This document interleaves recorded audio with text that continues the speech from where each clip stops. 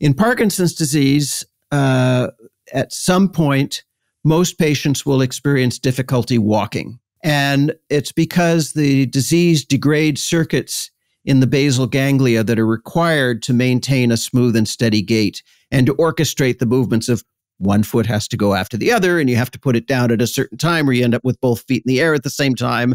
And that's not good for walking. And the circuits that allow you to walk rely on an internal, intrinsic timer in the brain, a clock. And that's what gets degraded. If you listen to music that has the tempo of your natural gait, you have neurons, neuronal clusters that were not damaged that synchronize to that pulse. And then they can act as an external clock that allows you to walk smoothly and continuously.